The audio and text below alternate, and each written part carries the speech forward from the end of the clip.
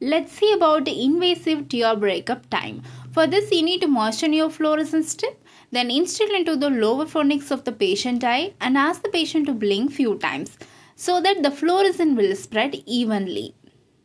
If you want to add more fluorescein, add up.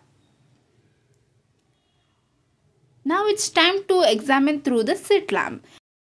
In slit lamp with the diffuse illumination, change the filter into cobalt blue. Now focus clearly into the tear film over the cornea.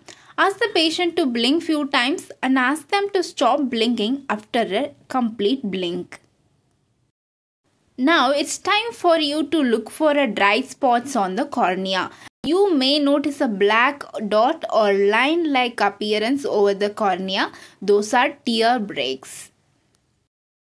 Tear breakup time is the interval between the complete last blink and first appearance of dry spot on the cornea. The normal tear breakup time is more than 10 seconds. If it is less than 10 seconds, it is a sign of dry eyes. Usually, at least take a 3 reading to confirm the tear breakup time. Don't apply more fluorescein so you may get a false value.